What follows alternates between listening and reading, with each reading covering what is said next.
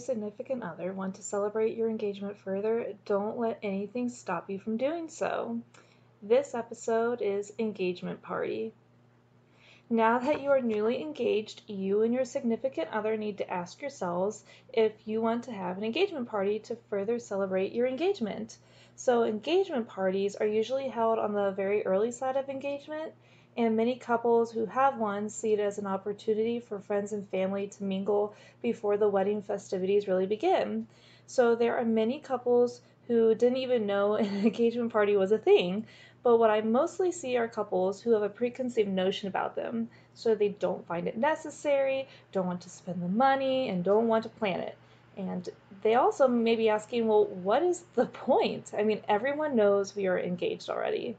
So these are all legitimate concerns and reasons. However, that is also where one's mindset can change. The word party is a loaded word, and I'm using that in air quotes, people. Yes, there are certain expectations we have when we hear that word. We think of lots of money, lots of planning, and lots of time, which equals big yikes.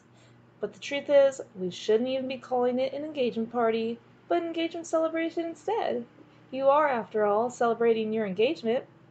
An engagement celebration has no expectation except the fact that guests get to hang out with you and your significant other. That's it. That is the one and only expectation. Your engagement celebration may have already happened the day you got engaged when you ended up seeing your friends, family for dinner, or even a drink that evening. And even if it didn't happen, there's no reason why you couldn't do it now. So, an engagement celebration literally can be anything. I mean anything. Want to have a potluck? Done. Want to have a game night? Make it BYOB and bring a snack? Done. Olympic Games outside? Done. Movie night at your place? Done. Did someone offer you to throw you one? Okay. Or no thank you. See, it really can be that easy, simple, and cheap. Now, this is not to say a full fledged party is the worst idea in the world, it all just depends on the couple. So, here's an easy way to narrow down what you and your significant other want to do and really where to go from there. So, the first thing yes or no? Do you want to have an engagement celebration of some type? If your answer is no, great! Now, as my dad would say, onward to the next phase of planning. If your answer is yes, Great! Now you need to think about one, who was throwing it? Are you throwing it? Are your parents throwing it? Are your partner's parents throwing it? A friend?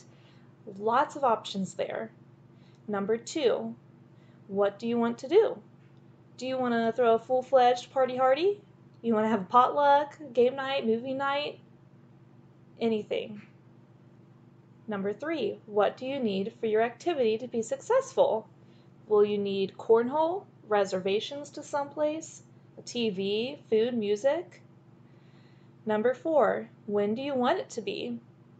So this is where you want to try to have it within three months of your engagement, no matter what it is. So if it's going to be a grand event, you need to let your guests know about a month out if possible, especially if you are inviting out of town guests.